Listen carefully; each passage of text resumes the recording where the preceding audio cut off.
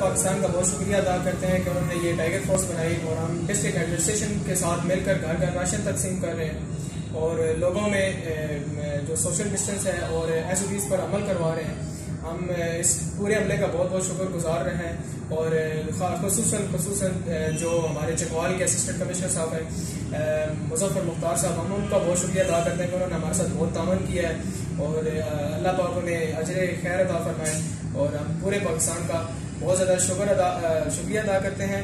और, बस एक ही हमारा पैगाम है कि कोरोना से डरना नहीं, डरना है। पाकिस्तान जिंदाबाद।